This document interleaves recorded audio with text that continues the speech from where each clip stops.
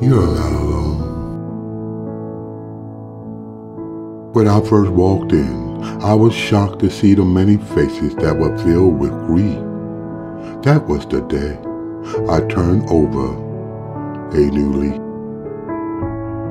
You're not alone. A strange woman came up to me and asked, Do you have God in your heart? If not, then today would be good start. You're not alone. If you walk around scared and alone, then you be feeling that you have to face this all on your own. You're not alone.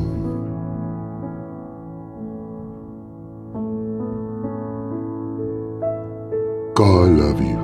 Jesus love you. I love you. And so do all your friends.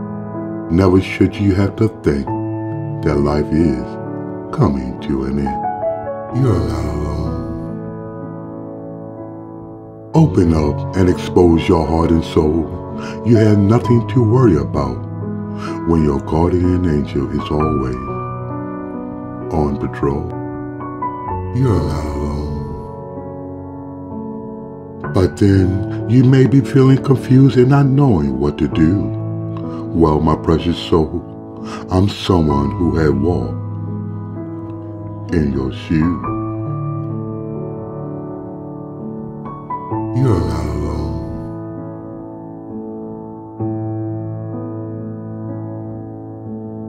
I stand here before you as proof that this isn't the end.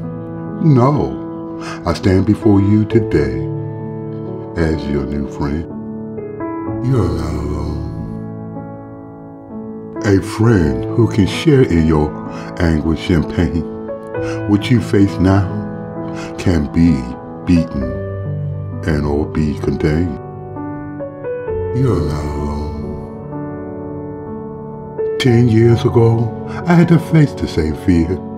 Now I'm here today telling you that you can make this disappear.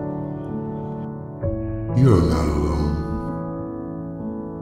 I'm not here to promise you that everything will work out. No, I'm here to help to erase all your fears and or any doubt. You're not alone.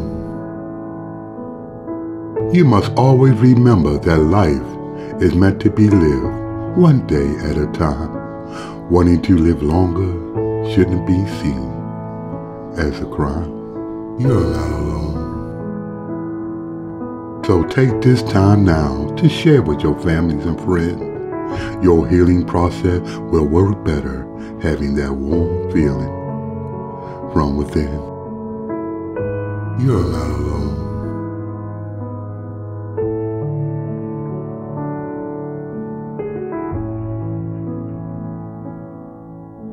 You're not alone.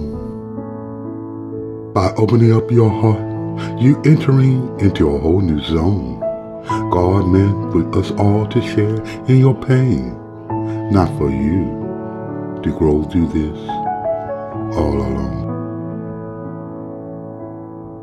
You're not alone.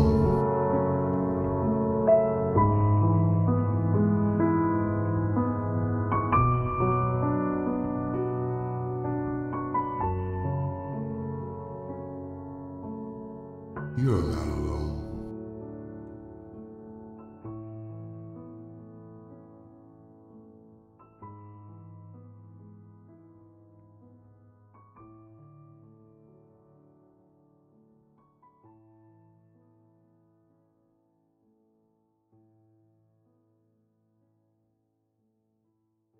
You're not alone.